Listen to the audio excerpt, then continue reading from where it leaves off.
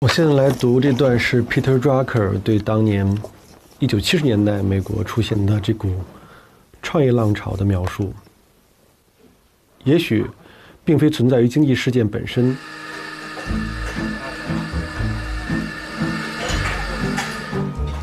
创业两年以来，我觉得我好像被困在花家地，简直都快发霉生锈了。有什么吃的呀？那个上锅什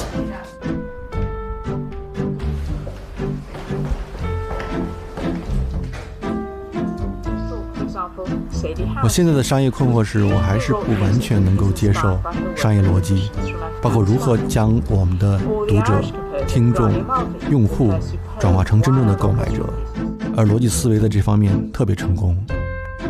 我们录这节目是很随机的，可能今天下午想一想就就录一下，可能我两三四天都没有兴趣就就不录了。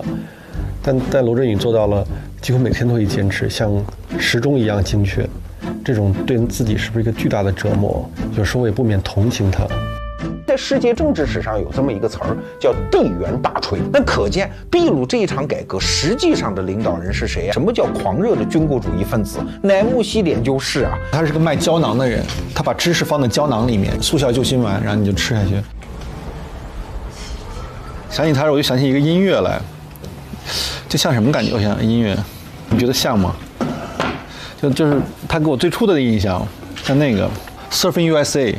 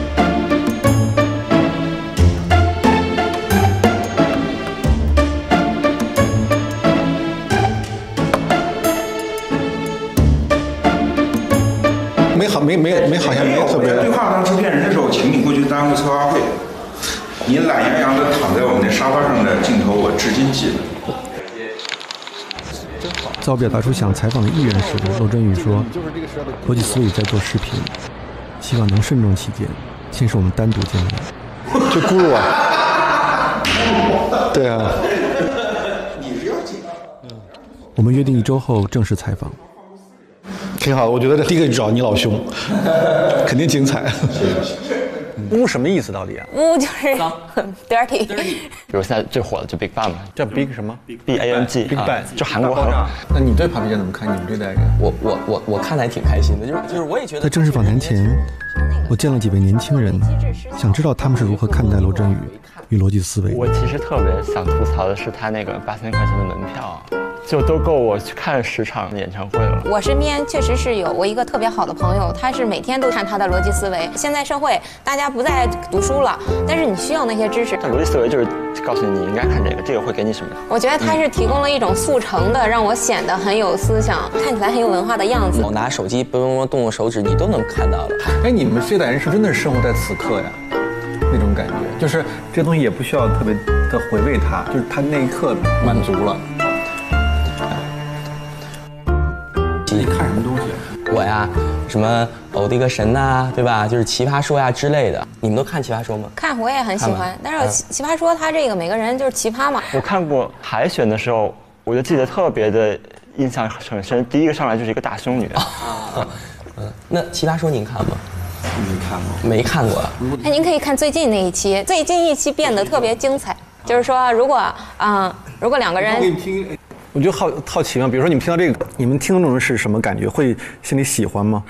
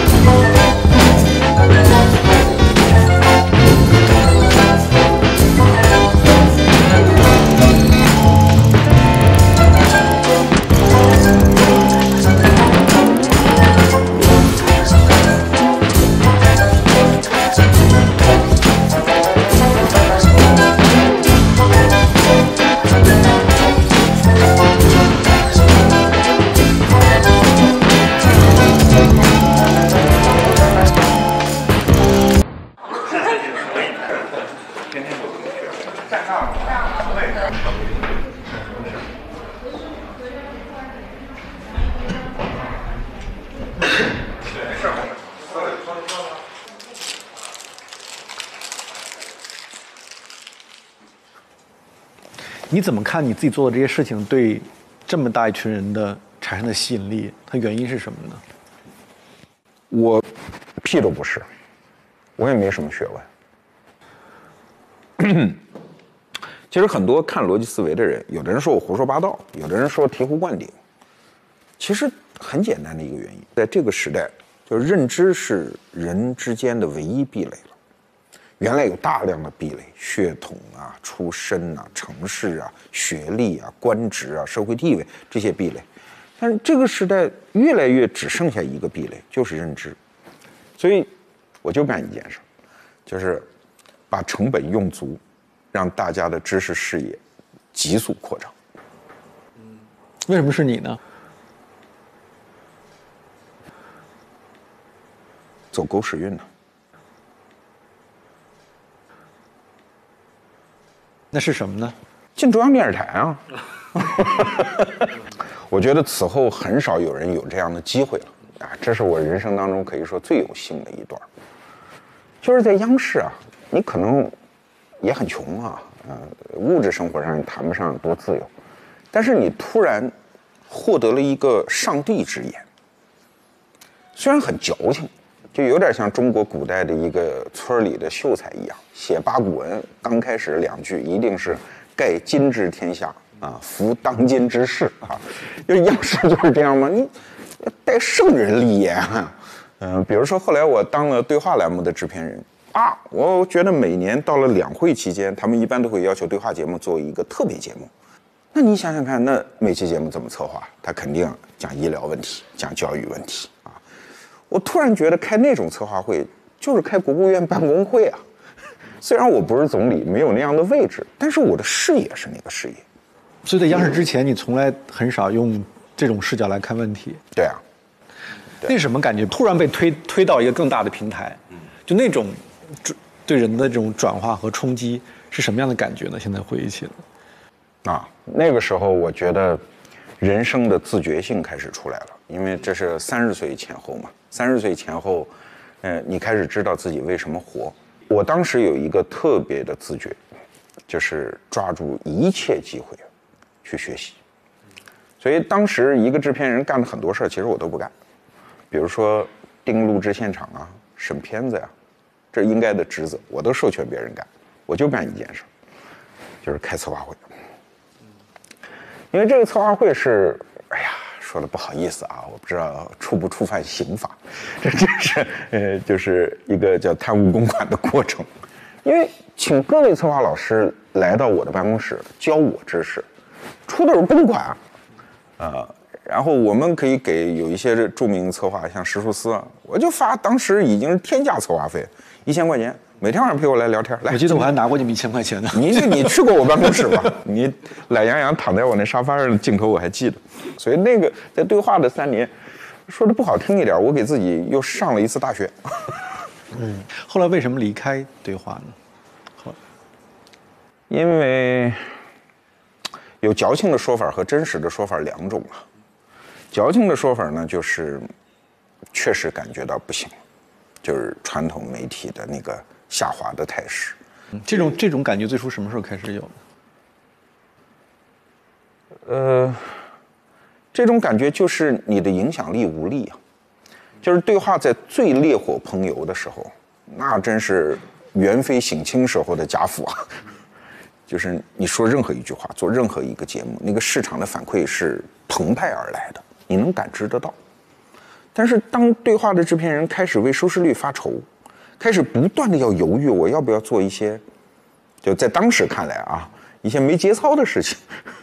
嗯，那个时候你你已经分明感觉到你的那个势能已经不在了，所以我想变方向，就是我不管干什么，我一定要把自己这张胖脸给露出来。啊，当然这个背后也有一个当时的观察，就是在央视的时候，你分明感知到整个行业的价值在往人身上转。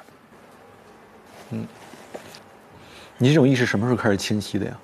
其实当时我读你的文章嘛，就是你说一份经济观察报和许知远这个人，哪个分量重？可能从情感的维度来讲，许知远更重。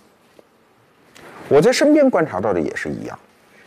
第一，就是我的研究生导师王继岩老师去了凤凰。然后凤凰的策略就叫我们跟他开玩笑叫你那哪是办电视，你那叫凤凰广播电视台。就所有的人都是在叨逼叨叨逼叨嘛。你像我们觉得干电视，那至少是对吧？蒙太奇啊，场面调度啊，应该是推拉摇移根全用上啊。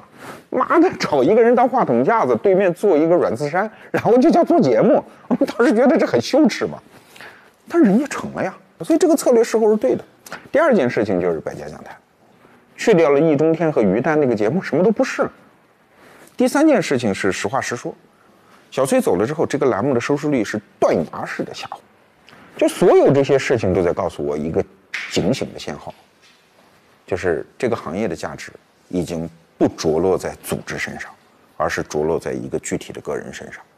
所以当时我在央视的时候已经明白，下一步如果我走，那一定是去做一个主持人，不管怎么样，先把胖脸露出来再说，将来可能会有机会。呃，这是一个矫情的说法，就是好像你判断一个下滑。那真实的说法其实很简单，我把我当时的领导给得罪了，所以后来顾振喜给我踹了这么一脚。所以他现在没有判，他判了之后，我真要去看看他。没有他在我屁股上踹那一脚，可能我至今也没有勇气跳出来。所以很多人在说勇气，勇气，我从来不承认这个东西。勇气就是运气。就是你当时在特定的情境下，你不得不做的选择，不得不走，于是看起来有勇气啊。所以所谓的战略就是事后总结出来的好运气，所谓的勇气就是事后总结出来的不得不。徐老师采访罗振宇是您自己的一个主动的想法吗？对啊，我好奇嘛。他在他就是就是那到底你是好奇他商业上巨大的成功吗？嗯，是我从那个呃，就是搜索上搜索了一下数字，发现罗振宇的粉丝大部分是本科以上的高学历人群。就他是，我觉得是很有知识知识含量的那种网。有知识含量是，嗯，但是好像很能忽悠人的样子的。很多名词儿，U 盘化生存，即插即用，嗯对，就有一种。好像哪儿不对的感觉，嗯，就就可能我们呃普遍到这一代就呃就是大家没有兴趣去做对任何事情做一个历史化的来看待，它不是突然变成今天这样子的，嗯，你必须回到线索里面，一步一步怎么变成这样的一个程度，嗯，你会看出这个脉络了。逻辑思维现在最大的问题是什么呢？没有问题啊，一只兔子有什么问题啊？嗯，就是一个生物体，它只要健康，嗯，能够做爱和觅食，嗯。不感觉到明显的病痛，嗯，他就是健康的，嗯，那健康人也会很焦虑嘛？也，那你的焦虑是？那是正常。对，那是什么呢？先，焦虑，就是实际上，人其实都是在一个非舒适区的，舒适区里是待不住人的，他一定会活得极其的灰败啊。嗯，这个不舒适区对我来讲，就是要不要把这个事儿坚持下去做。比如说，我们的用户知道我三百六十五天无休的，每天早上六点半发那条语音。首先，每条语音六十秒，精准。你可以试试，每天说到六十秒，意味着你不断的要试，大概一天如果不顺利的话，你可能得说四五十遍，你才能把它说成整整六十秒。然后你中年不能睡懒觉，六点二十闹铃必须响，这就是自虐。所谓的工匠精神，是我理解就是公开自虐。那支持你这种自虐的动力是什么呢？什么东西让它可以持续下去？这是一个，这是跟我的年龄有关。我创业的时候四十岁，四十岁生日那天其实特别有标志性意义，就是假设人生八十，正好是终点。正好是终点，就是你突然知道，此后的日子是比此前小的。我我还记得一个场景，我在很小很小的时候，我父亲给我兜里装了一把枣，我就坐在那个门槛上吃。你刚开始的时候，你觉得那一把很多嘛？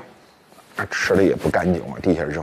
都看到还剩一小半了，哇，不 行了，甚至从地下捡那个没吃完的枣去吃。四十岁就是这样的一个时间，所以就会导致你对时间的感知力完全不同。那问题是安排完就是比如这么紧密的做这些事情，它最终的目的是什么呢？没有目的啊，让这一生变得有意义啊。就是你你觉得现现在这些事情是最是最让你人生实现意义的事情是吗？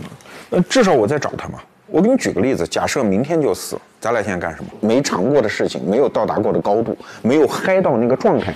如果今晚我出门让车撞死呢，我很后悔。就比如说做这个事情，他会嗨到什么程度？你觉得是一个你期待的？哇，商业最精彩的地方就在这儿，永远没有终极。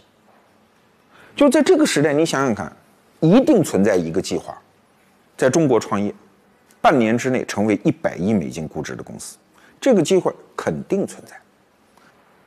所以创业太好玩了。但是这个过程也是一步步发生的嘛？比如从二零一一一二年底开始做这件事情，到过去三年半嘛。当然，比如说它可以分阶段嘛？就哪些时候你可以感觉到，或者重要的事件是一个转折点，你感觉到巨大的这种新的刺激也好，诱惑也好。呃，这个阶段可以无限的细分了。最核心的转化，我觉得就是这两次。当然，今天你跟我聊的时候，我已经知道。即将这家公司会发生一个大转化，就是你从一个现象级的一个颗粒状的东西，一定要爆炸为另外一个东西，就是它必须让整个市场对你有无限的想象空间，就要进行这个业务模式的大转型。那这次爆炸两种可能了，一次变成一个爆米花，一次就是粉身碎骨。不知道最终的结果会是什么？那决定成为爆米花或者 粉身碎骨的关键因素是什么呢？有吗？有啊。嗯。三个词儿，叫不犯懒、不犯浑、不犯倔。我们这一代创业者是小老鼠，那个迷宫是上帝给你布的，你哪知道哪条路是出口？你看的真真的那一条，也许就是一个骗局。是一个陷阱，但是小老鼠有小老鼠的活法，就是我刚才讲的，不犯懒，不犯倔，不犯浑。首先勤快嘛，你多跑嘛，遇到出口的几率肯定是增加。不犯倔，就是遇到什么东西如果错了，勇于否定自己嘛，打一次脸就成长一次嘛。还有就是不犯浑嘛，就千万别做一个理想主义的假设。所以，我特别打心眼里是告诉我自己，不要做一个理想主义者，要做一个现实主义者，要做一个鼠目寸光的人。所以很多人说情怀，我说我没情怀。我有什么情怀？我一买卖人，我对得起自买自己东西的人，就是最大的情怀。我不想改造世界，我只想把自己这一生让自己变得是最好的自己。我尽其所能，OK。有小我跟理想主义之间会有那么大冲突吗？这是一个这个时代的一个难题了，就是趋势认知和自我行为之间会出现一个奇怪的夹角。举个例子讲，吸烟有害健康，那你说烟草工人是不是道德败坏了？再比如说，我做这个媒体，我明明知道不应该去做广告，那一条商业路径。是不支持一家创业公司的，但是我们这次操作那个 Papi 酱的广告的拍卖，很多人说打脸，哎，我说对呀，有钱不挣傻吗？代价是什么呢？对你来说，嗯，就是让你的神经系统被训练过来的那些习惯都感觉到极度的不舒适。今天中午我们还在讲。他妈的，现在有些直播视频，就是一个人天天的就坐在那儿，一小姑娘，谢谢，谁给我送了一辆超跑，谢谢，然后就这样从早做到晚，然后就有人给他打赏几十万，那你说这人无聊到什么程度呢？按照我们的价值观，你他妈就应该去死，就是他妈的家长没教育好的他妈的富二代二世祖，对吧？但那也是一种生活，我们不理解，不理解不意味着别人没价值。我们总是以为这个社会会因为传播工具的进展会产生更多的共识，说因为传媒变得更自由，变得让很多好的观念可以更好的传播。事实上正好相反，就像在台湾，绿营的人是不会看蓝营的节目的。你传播的再好有什么用？整个每一个人会进入一个叫信息茧房的状态，就自己给自己弄了个蚕茧。这个时代可能我们这种人存在的价值，也许就在于乱拳打死老师傅，不断的使尽全身力气去打破一些人的信息茧房。所以我曾经打过一个比方，我说就好比是一个大厅，这个大厅有无数的门，每一个门口都排着长队，他都不敢离开这个队。而这个胖子呢，他干了一件事儿，早上起来花一分钟时间，像小丑一样在这个大厅里跳来跳去，推开一扇陌生的门，说大家看一眼这个，一分钟关上了。但我不站队，我在这个大厅里当小丑。嗯。我觉得对所有愿意看过来的人，我能有帮助。所以碎片化的时代没办法，就这样。但是总会出现我这样的人，你这样的人。其实你也在干这个，打破每一个人的信息茧房。你怎么？那你怎么看？是太大了问题啊！但是我还是很好奇，你怎么看这个时代的精神状况呢？这种所谓的蓬勃的文化，你怎么看他们的内在的价值呢？或者你关心的也是这这个关系？嗯，我小时候知道了一个词儿，叫跑反。呃，用我们老家话讲叫跑鬼子反。嗯，就日本鬼子打来了，这个村就砰就开始跑。嗯，哪个城里投亲靠友啊，或者跑到外乡去啊？这就是一个跑反的时代，就突然一个浪头过来了。谁也别管别人，嗯，管自己。但总有一些挑战是超必须要共同力量来面对的呀。那没办法，那到就危害到每个人身上最后。你可以站，你任何一个人可以站在世界中心喊：我们不能这样彼此逃离，不能以跑反的姿态狂奔，嗯，不问他人的音讯，连留个通信地址都没有。你可以这样喊，没有用的，嗯。这就是我讲的趋势认知和自我行为，嗯，出现分裂，嗯，你刚才说的是一个理性认知，怎么办？嗯，这个让你纠结吗？不纠结，我已经想得很清楚了，嗯，跑，不管他人，嗯，成为跑得最快那个，嗯，好，哎。现在再看到这本书，什么感觉？嗯，它就像一次初恋嘛，很美好，但是回不去了。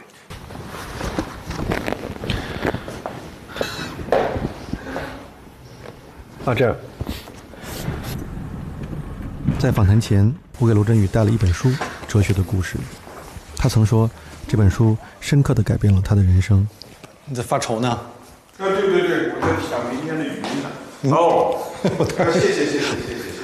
我看这是哪个版本的？哎，你怎么会找到这个新的新的版本的？给你看。刚出来的 啊，对对。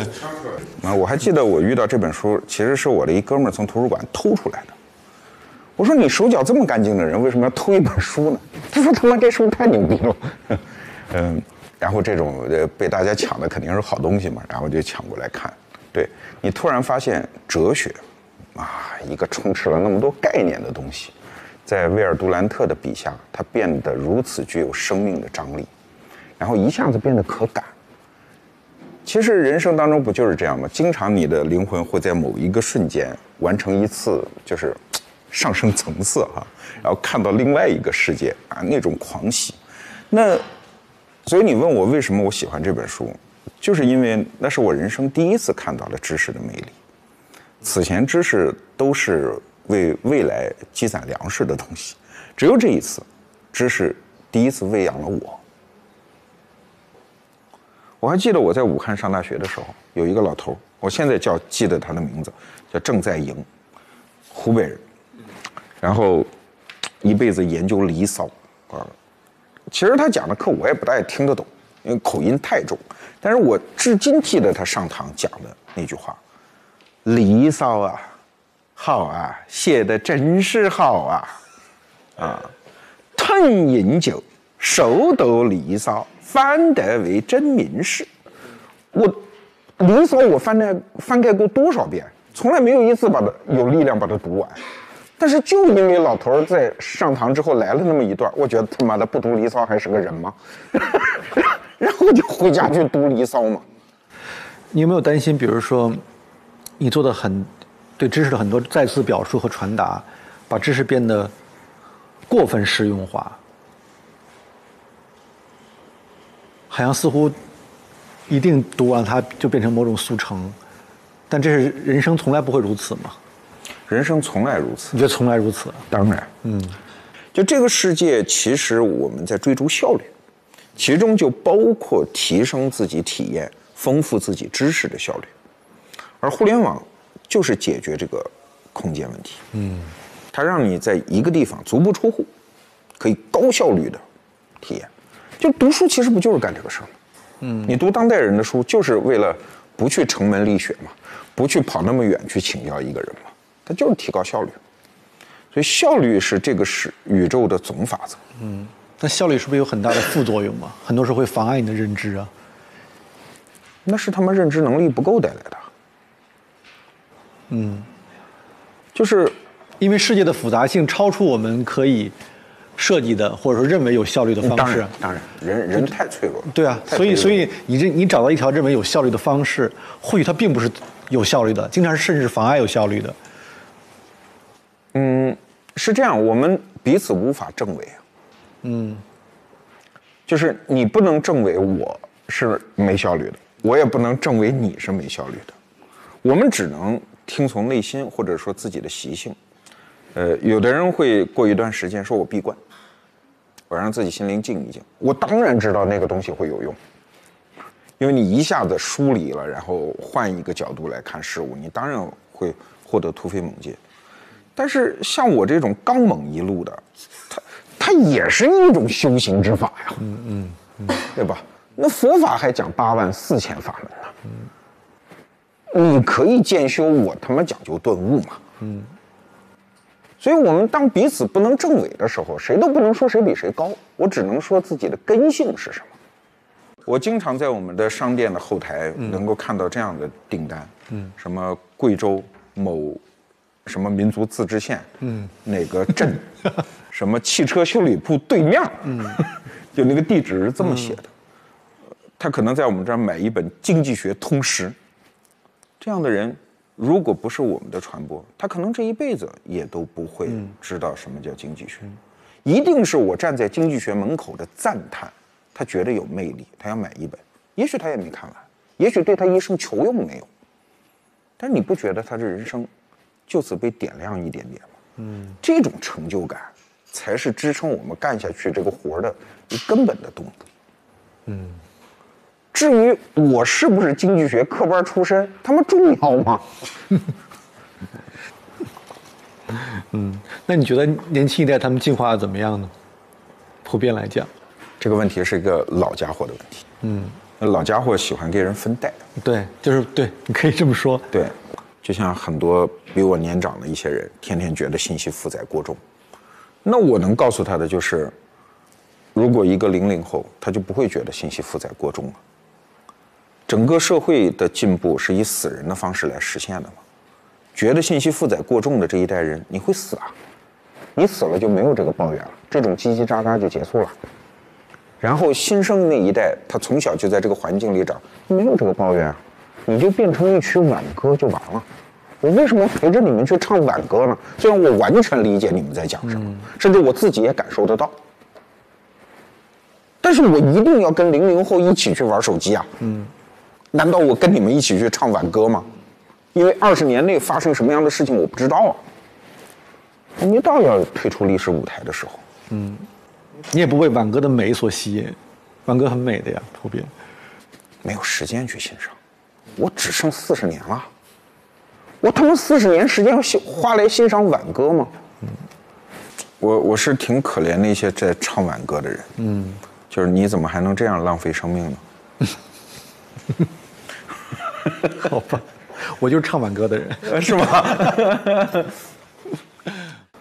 我就觉得许知远是强压一股怒气，就我说的很多东西他都不同意。他是一个好。啊，非常好。呃，在徐志远的对面，你会觉得自己有说话的欲望，因为你知道，不管他同意还是不同意，他听得懂。哎呀，让徐志远去采访一些美女吧。他也会有兴趣啊！对对对，你想看哪个美女？你说。穿衣服的归你看。这是一场漫长、兴奋又令人疲倦的谈话。我觉得我挺被罗振宇的坦诚所打动的。我觉得罗振宇是一个非常值得交谈的朋友，一个我们彼此间对对方都充满保留，但仍然可以彼此欣赏的朋友。我觉得里面既有充满了一个新发现者，甚至孩子气势的喜悦，其实我也听出了某种不确认性。有时他为了拼命的捍卫自己新的杀人的姿态，来说出一些故作的狠话。一个是他可能那个内心安静的自我，曾经被杜兰特、离骚点亮的那个自我，和那个。渴望进入更大的商业游戏中，那个野心勃勃的自我，仍然要在彼此间继续的斗争下去。而这种斗争，也像是这个时代的某种缩影。每个人心中可能都有这样两种不同的力量。他像一个焦虑时代的心理按摩师一样，他做一种精神的按摩。但这种按摩，怎么说？我不相信那些东西吧。这个看法仍然存在，没有没有变化。但是我理解这些做这些行动的思考的形成的过程，而且我觉得社会中需要这样的声音，也需要我这样不相信这些速成、批评这些速成的声音。我们可以彼此间的制衡吗？一个社会不可能永远都生活在向前的奔跑之中，它需要向后看、向左看、向右看，需要很多不同的情感和思维方式，他们共同构成一个。丰富的社会吗？